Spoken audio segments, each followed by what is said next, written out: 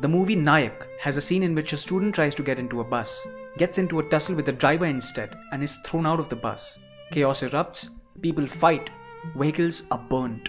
The student lies on the ground amidst the chaos, missing his crucial exam and ultimately wasting his entire year. It is the beginning of 2020, and this scene from Nayak aptly captures the metaphorical condition of Indian students in present day India.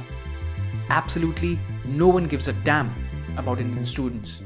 1.5 crore people applied for close to 90,000 railway jobs in 2018. 93,000 candidates applied for the post of peons in Uttar Pradesh. 3,700 out of them were PhD holders, and 50,000 out of them were graduates. Fun fact the peon job required people who had only passed standard 5th. 80% of Indian engineers are unemployable, and only 3.84% have the skills required for software related jobs in startups. The unemployment rate hit 7.7% last December. In short, these are tough times for you if you're a student in India, and this joblessness is literally reflecting all around us. Enough of this chaos, and it's high time we should start doing something about it. So here's FMF's new video on 5 things you should start doing immediately if you're an Indian student. Number 1. Pressurizing the government to improve the education system. A popular notion that is shoved down everyone's throats is that because Indians are lazy or talentless, they're not getting jobs. If the problem was with Indians, how come Indians have managed to become CEOs of tech giants abroad? The problem lies in our education system. With outdated curriculum, pathetic condition of both primary and secondary education, it simply does not let students flourish here. UNICEF has warned that by 2030, as many as 53% Indians will leave secondary school without getting skills needed for a decent job.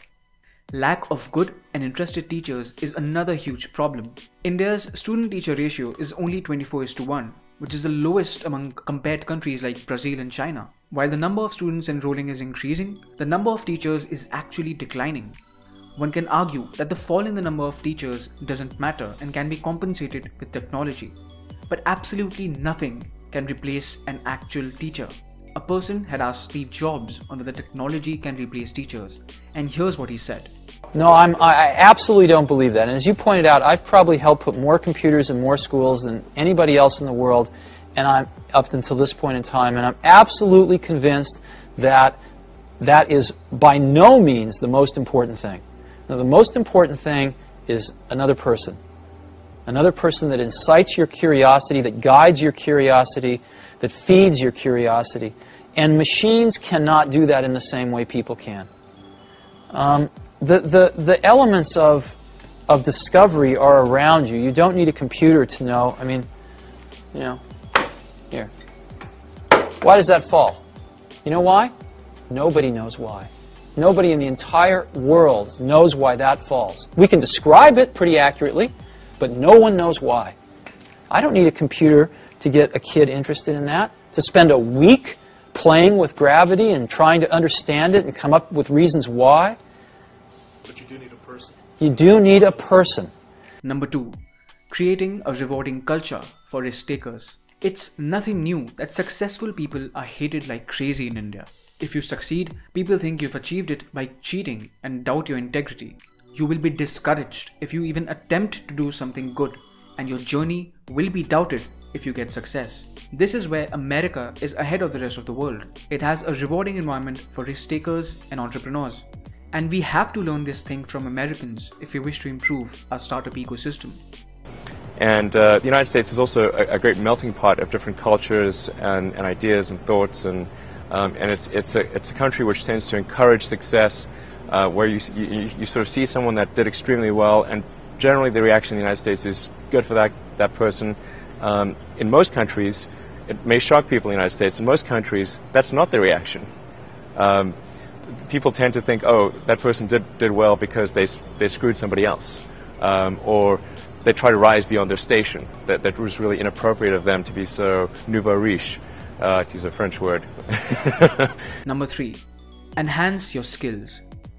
It is pretty clear now that degrees do not guarantee you a proper job in the 21st century. Mark Cuban, a billionaire investor, recently said If any of you are entrepreneurs or in the business world, and if you don't know artificial intelligence, then you're the equivalent of somebody in 99 saying, Yeah, I'm sure this internet thing will be okay, but I don't give a shit. Use the internet to educate yourself and learning skills. One app that I really find useful and sincerely recommend to you guys is Cambly.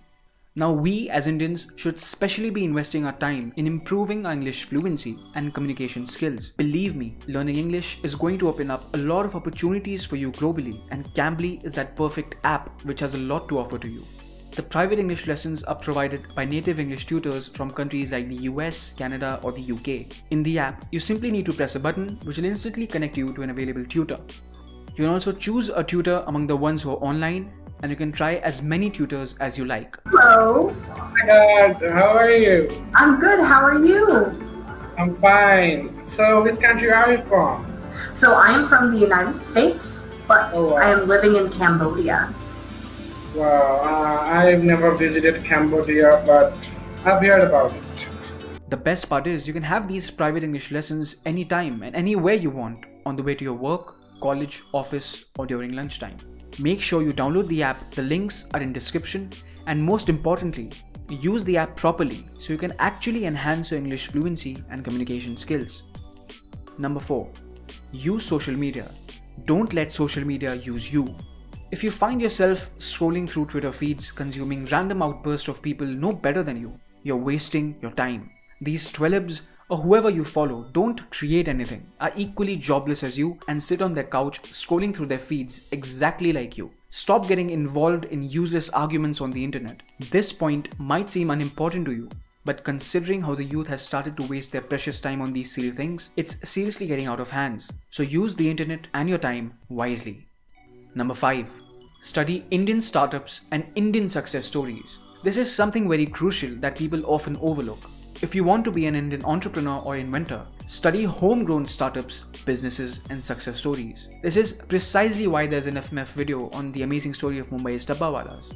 You see, if you're going to become an Indian entrepreneur, you're going to be solving Indian problems of Indian people in India. The obstacles you'll face will be different than what an American faces. Studying Apple or Google or SpaceX is fine, but ultimately you will be creating something in India. So study people who have succeeded in India before. And don't worry, FMF is going to help you with that.